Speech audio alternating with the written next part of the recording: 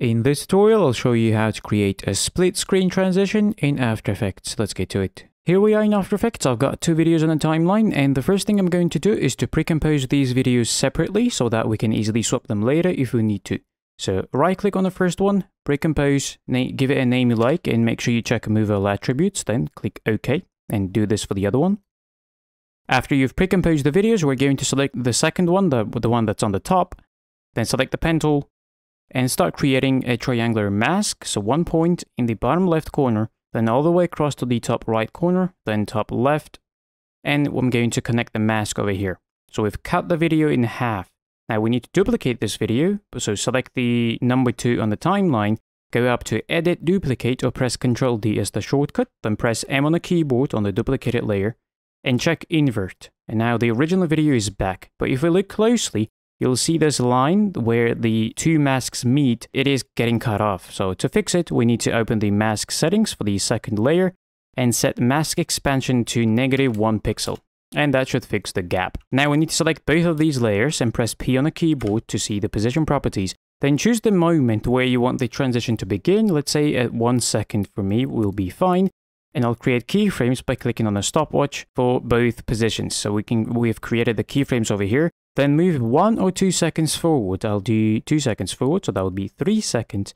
Then we're going to change the values for the position. So for the first one, the one that's on the the left piece, we're going to set position to zero zero to put it all the way to the top left corner of screen pretty much. And for the second half, the one that's on the right, we're going to multiply these values by 2, so 960 times 2, and then 540 times 2, to place it all the way to this bottom right corner of screen.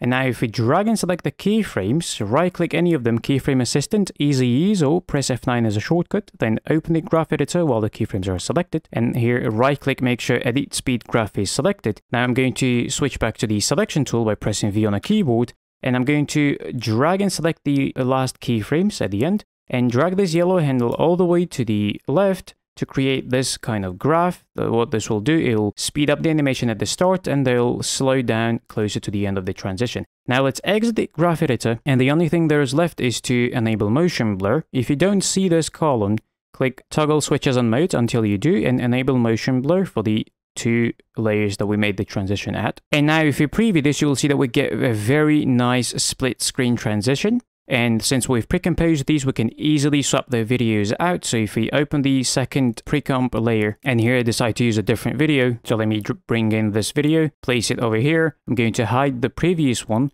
then go back to the render composition, and now you'll see that we get a brand new video with the same kind of animation. So that is also super, super easy to adjust. And that's how you create a split screen transition in After Effects. I hope you enjoyed and learned something new. Thanks for watching. See you in the next one. Peace out.